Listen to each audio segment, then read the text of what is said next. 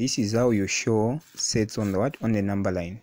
So before we go any further words are worthy than what? Than weak so you need to understand that when you see such symbols it means that you, on your number line use a what? Not a bold circle. Then that means that number is not what? Included on that set. Then if you see such brackets meaning that the, it is what? Use bold dot. Meaning that that number is what? Included. That is what that is what it means. So from the first example like this one i had shown that look at here you just do the opposite since it's a complement. So meaning that b it is not what? Included because if you know your b to be easier to understand. These are the other examples which i was showing you here.